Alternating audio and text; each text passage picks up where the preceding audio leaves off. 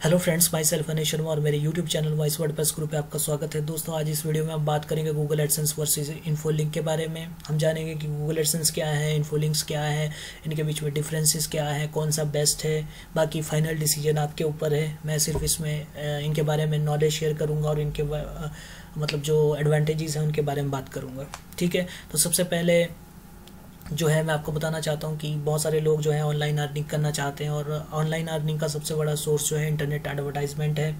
और इसके लिए अलग अलग कंपनी ने कुछ प्रोग्राम्स डिज़ाइन कर रखे हैं, जिनका नाम एडसेंस ही है। एडसेंस ही कहते हैं उनको, लेकिन वो अलग अलग कंपनी का अलग अलग हो सकता है। जैसे गूगल एडसेंस का नाम आपने सुना होगा, शायद पता नहीं सुना है कि नहीं, लेकिन वैसे बहुत फ़ेमस है तो जो भी ऑनलाइन अर्निंग के बारे में सर्च करते हैं या पढ़ते हैं या कर रहे हैं तो उन गूगल एडसेंस के बारे में जानते हैं, ठीक है? गूगल एक एडवर्टाइजिंग कंपनी थी पहले और इंटरनेट पे जब इंटरनेट पे वो आई तो उसने मतलब जो है एक दो यूनिट्स बनाए गूगल एडवर्ड और एडसेंस एडवर्ड से वो एडवर्टाइज़र से ऐड लेती है और एड एडसेंस सेक्शन में वो पब्लिशर्स को ऐड देती है जो अपने ब्लॉग या वेबसाइट्स पे जो है मतलब उसको आ, मतलब पब्लिश करते हैं, दिखाते हैं और उससे जो भी अर्निंग होती है, उसका कुछ हिस्सा जो है गूगल अपने पास रखती है, बाकी पब्लिशर्स को दे देती है। तो इस तरह से ये नेटवर्क चलता है और सिमिलर यही प्रोसेस जो है, वो हर कंपनी में है जो एडसेंस प्रोवाइड करती है। इस तरह की बहुत सारी कंपनीज़ हैं,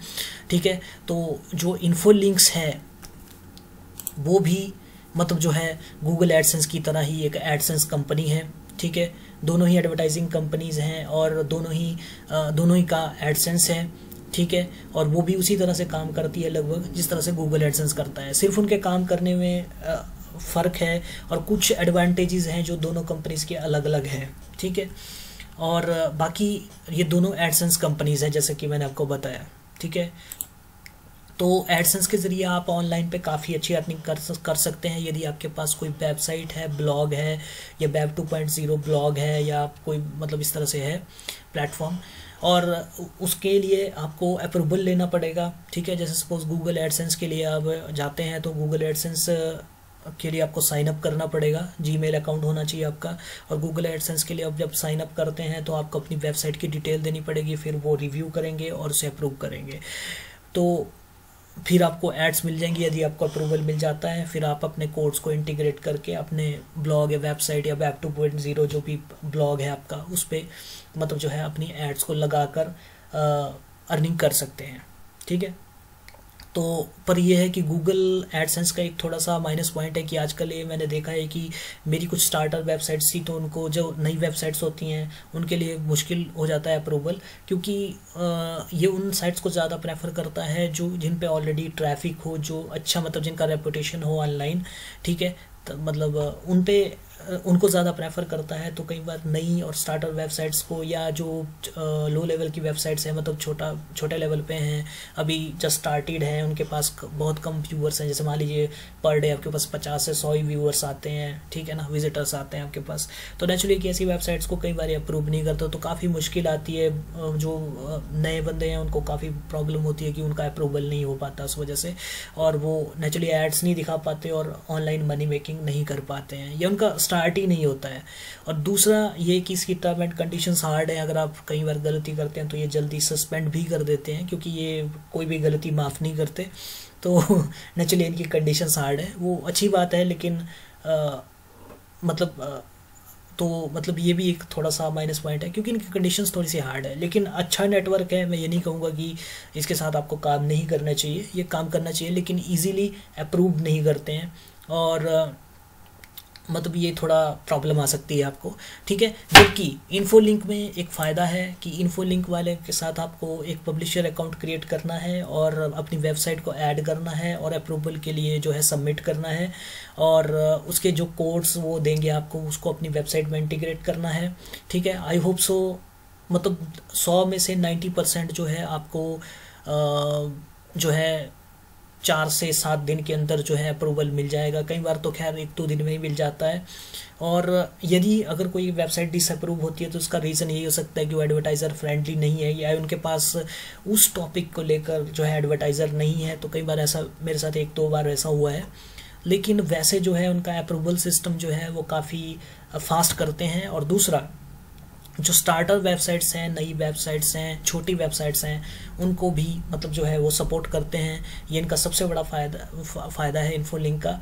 और लगभग इसका जो स्ट्रक्चर है और इसकी जो प्राइजिंग है, वो लगभग जो है गूगल एडसेंस के मतलब थोड़ा सा कम हो सकती है।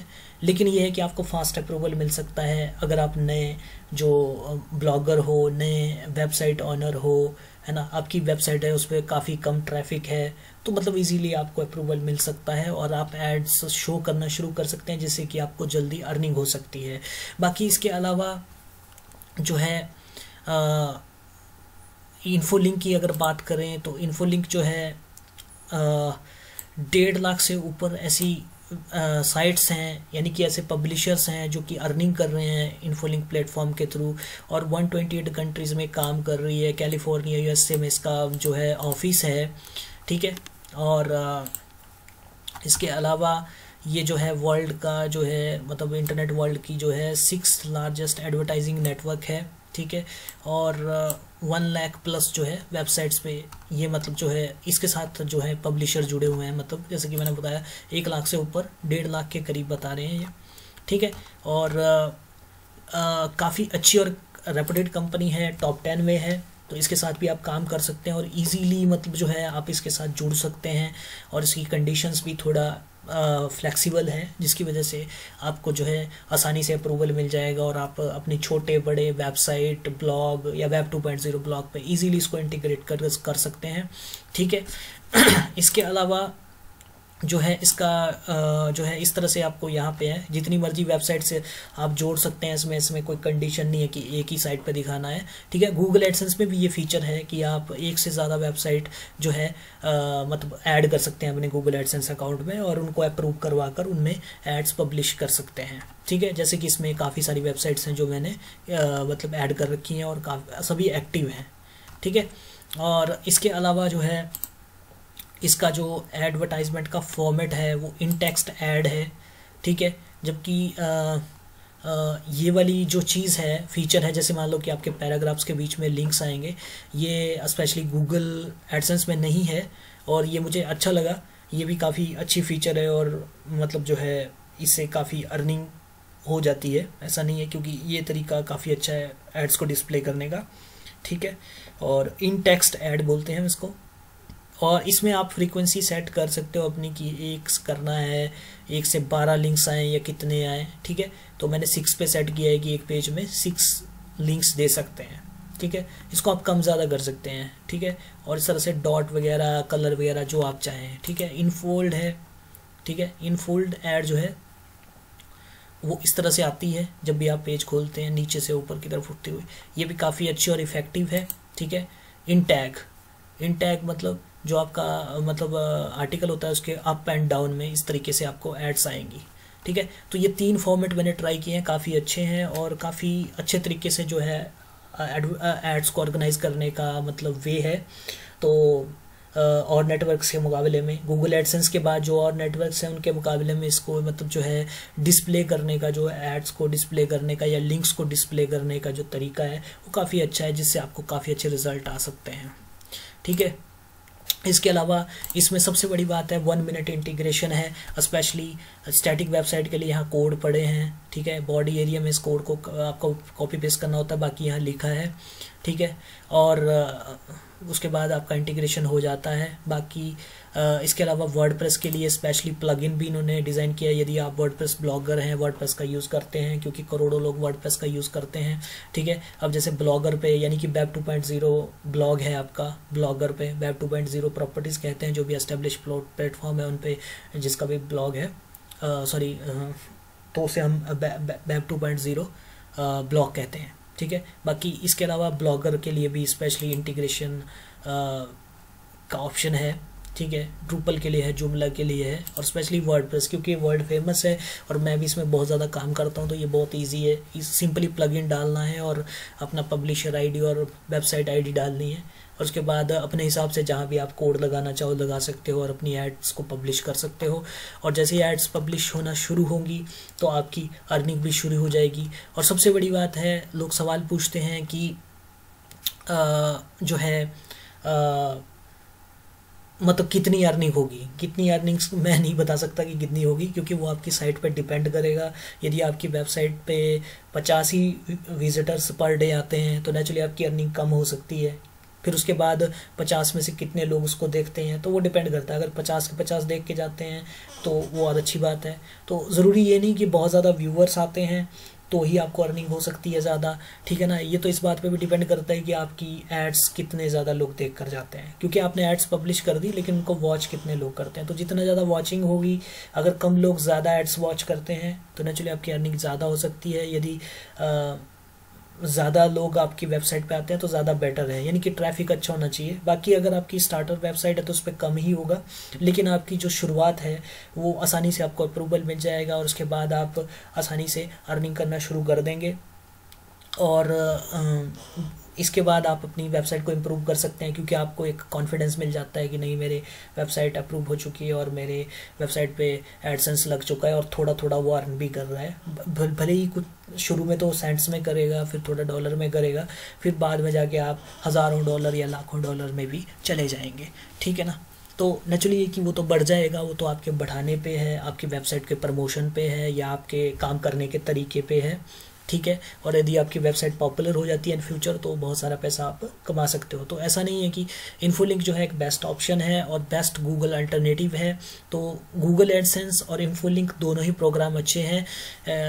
इसमें कोई प्रॉब्लम नहीं है। गूगल एडसेंस बहुत अच्छा प्रोग्राम है, बहुत पुराना और यू नो बहुत ही एस्टेब्लिश्ड प्लेटफॉर्म है, मैं ये नहीं कहूँगा। लेकिन इसमें थोड़ा अप्रूवल का बहुत इशू है। और कुछ कंडीशंस हैं जो काफ़ी हार्ड हैं, जो आम स्टार्टर लोग नहीं कर पाते हैं। तो नेचुरली ये कि उनके लिए बहुत सारे बेस्ट अल्टरनेटिव्स हैं, लेकिन उनमें से जो मैंने फाइंड आउट किया है वो है इन्फो लिंक्स ठीक है? और इन्फो लिंक्स जो है गूगल एडसेंस का एक बेस्ट अल्टरनेटिव हो सकता है, क्योंकि उस मतलब ये काफ़ी मतलब टॉप टेन में है वर्ल्ड में। मतलब एडसेंस जहाँ भी प्रोग्राम्स हैं तो उनमें टॉप टेन में है ये। और काफ़ी अच्छी रेपूटेड कंपनी है और इसके साथ मैंने भी काम किया है तो नेचुरली ये मैं कहूँगा कि ये काफ़ी अच्छी है तो इसको मैं प्रेफर करूँगा। ठीक है?